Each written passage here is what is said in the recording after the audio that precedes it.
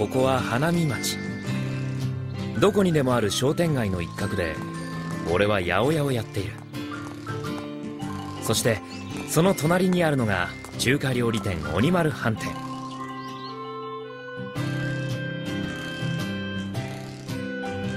おーっすいらっしゃいま頼まれたネギ持ってきたぜ。そう。そして今日は一人娘のミキちゃんが看板娘としてデビューする記念すべき日なのだった。ミキちゃん頑張ってるな。そうだよな。ぴったりの仕事だもんな。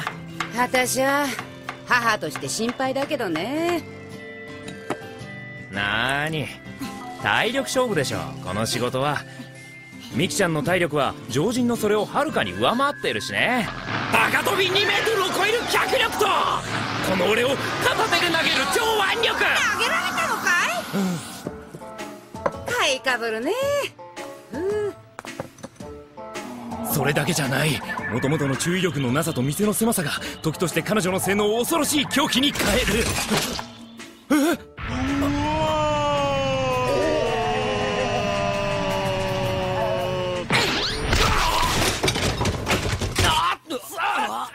ほらね。ほらねじゃないだろう。またやっちゃった。でまたやるな。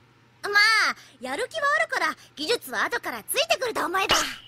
それは私があんたを認めてから言うセリフだ。認めてないの。認めてたまるか。認めてほしけりゃそれなりに働きな。やってんじゃん。そんじゃあこの辺で。失敗しといてよく言うよ自分の娘だろ。信用できないんだよ。だと。叫んなよ。てこそあれあれ力余ってんね若者は。道理で客足が途絶えたと思ったよミキ。接客もままならないあんたに一つ頼んでいいかい？これじゃ営業妨害だ。何とかしてこの状況を収めてみな。オーケー。無益な闘争の愚かさを教えてやるんだ違うことやろうとしてるだろう。白黒つけたいんだろお二人さん。ああならここでやんなよ。やはりこれでどうすんだこのアホンダラがだこら怠慢の邪魔すんじゃねえ邪魔するつもりは邪魔するつもりはないけど邪魔なんだよあんたらがからどうせやるなら店に貢献しろって言ってんの。えなぜだなあどうだい？血も出ないし骨も折れないし平和に怠慢したら？で負けた方がお支払いってか？へりくつこねやがって。平和？そんな生ぬるい。敗者が払うものは金じゃねえ。命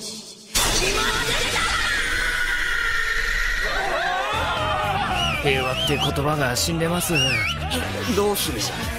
てかもう出られねえし。しゃあねえ。勝負だぜ。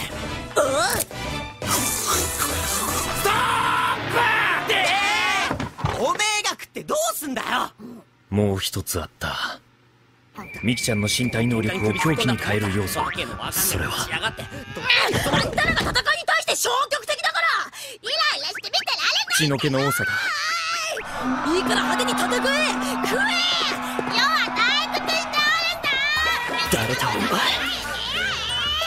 いから早くやれ。もういいのしようとミキちゃんひょっとして暴れたいだけじゃ。バカ言うな近頃の若いもんはすぐテレビの影響を受けて自分の力も測れずにストレスや欲求だけたまるから目があっただけですぐ喧嘩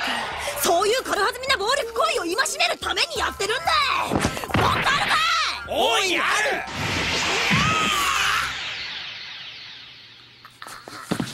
いい加減にしなお客さんが困ってるだろういやむしろ喜んでる。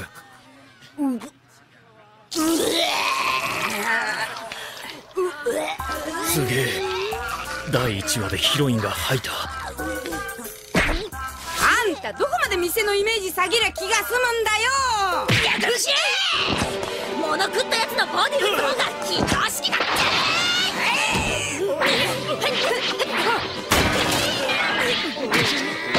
首かちょっとだけ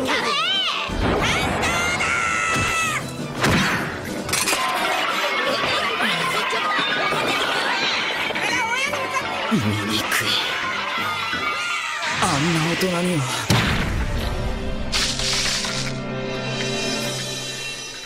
なりたくない。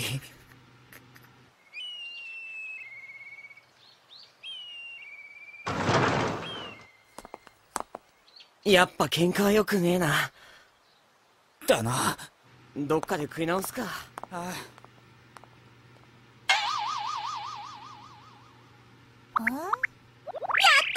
初日から大快しながら少年を構成させたよ。嫌がる少年を無理やり店に閉じ込め醜態を晒した。の間違いだろ？子供の頃は家業が嫌だったんだけど。見てよこの仕事っぷり。まさに天職私にぴったんこ。って何もやってないだろ。あんたが店にいると客が迷惑するから出前行ってきとくれ。あら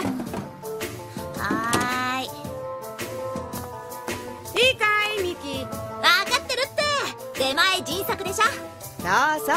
行ってきますあらやだ。ミキ忘れほらお食べ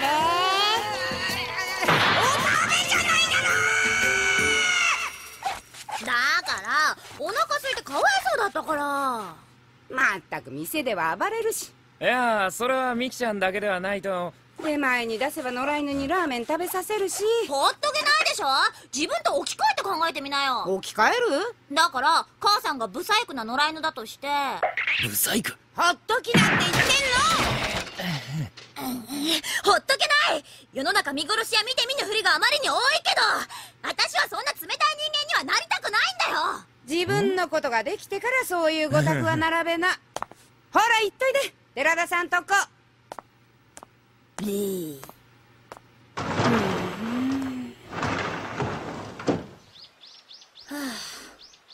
出前迅速か。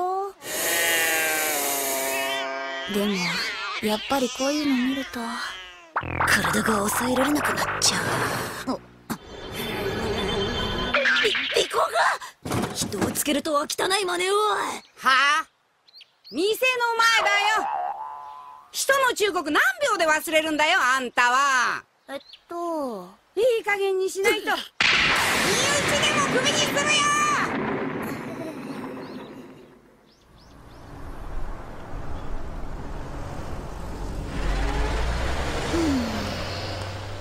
こ心がけちゃいるんだけどな。出前迅速よーし閉まっていこうあと一人だお。あるかよはあ普段ならダッシュして取ってあげるんだけどな。ごめんね子供たち。出前迅速だから。薄情なお姉さんを許しておくれ。やべえ寺田さんちだ。ガラス割ったら大変だ。寺田さんってめちゃくちゃ怖いぞ。出前さ